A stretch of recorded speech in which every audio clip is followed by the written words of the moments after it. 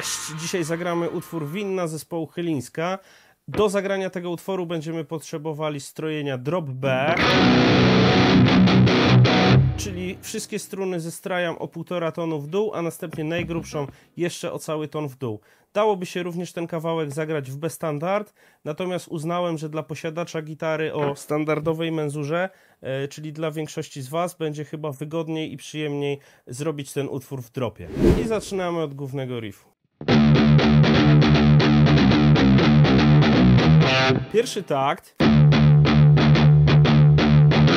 Odbywa się głównie na trzecim progu najgrubszej struny.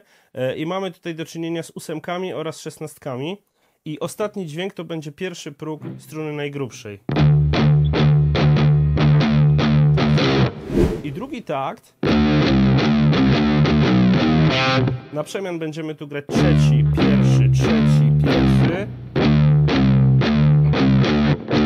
potem dwa razy trzeci i taka zagryweczka. Pusta, czwarty i pierwszy próg na strunie trzeciej licząc od najgrubszej. I teraz jeżeli chodzi o artykulację, to wszystkie dźwięki oprócz tego ostatniego powinny być zagrane z palmutingiem, natomiast ten ostatni powinien być zagrany bez palmutingu. I druga część riffu, bardzo podobna do pierwszej, będzie się różniła drobnymi szczegółami.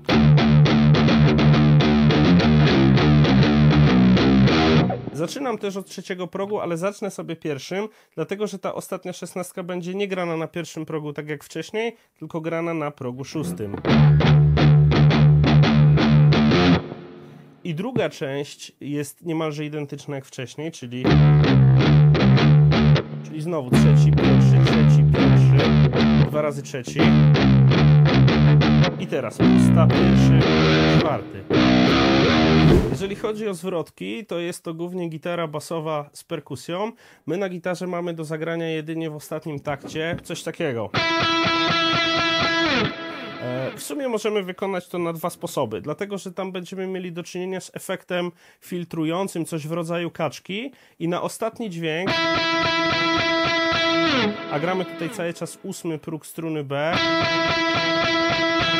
i na ostatni dźwięk możemy sobie albo zamknąć filtr, czyli domknąć kaczkę, albo, żeby zrobić taki charakterystyczny efekt, albo podciągnąć sobie ten ostatni dźwięk o pół tonu w górę.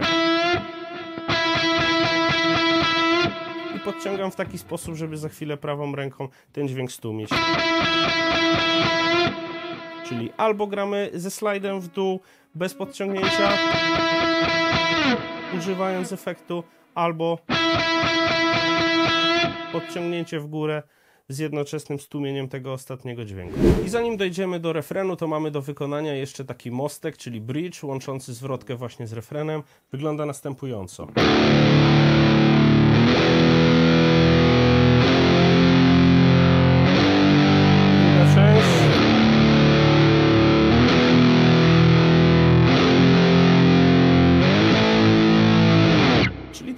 Power chordy przypominam, że jesteśmy w strojeniu drop, więc power chordy łapiemy jednym paluchem i gramy tak. Całe nuty. Trzeci dwa, trzy, cztery, czwarty trzy, cztery, szósty trzy, cztery, ósmy I druga część jest identyczna, z tym, że ostatni jest nie na ósmym, a na dziesiątym, czyli...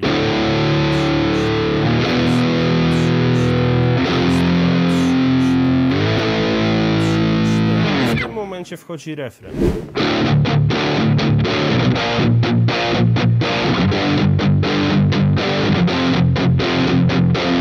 I to była jedna linijka refrenu. Mamy tutaj do czynienia z takimi akordami. W zasadzie power chordami. Trzeci próg od najgrubszej struny, następnie czwarty próg od struny A. Tutaj już musimy złapać power chord po bożemu, czyli próg czwarty, szósty, szósty. Następnie znowu od grubej ósmy i szósty. Bicie czyli riff, będzie wyglądał następująco. 7 ósemek, dwie szesnastki na koniec, część dźwięków akcentowanych, część z palm mutingiem.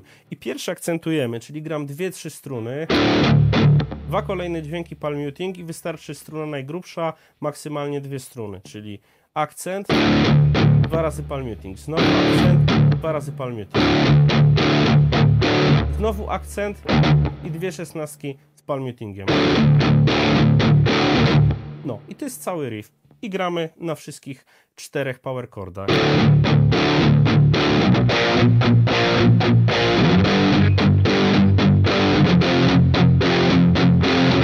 I solówka.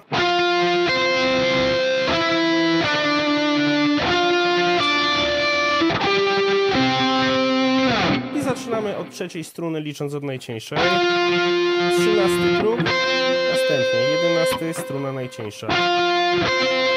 I teraz. Dwunasty, dziesiąty, znowu struna trzecia, czyli mamy już tyle. Dalej, znowu trzynasty, struna trzecia i trzynasty, struna najcieńsza. I piętnasty, struna trzecia, czwarta, czyli grubsza. No i to by było na tyle. Bardzo dziękuję za uwagę. Do zobaczenia.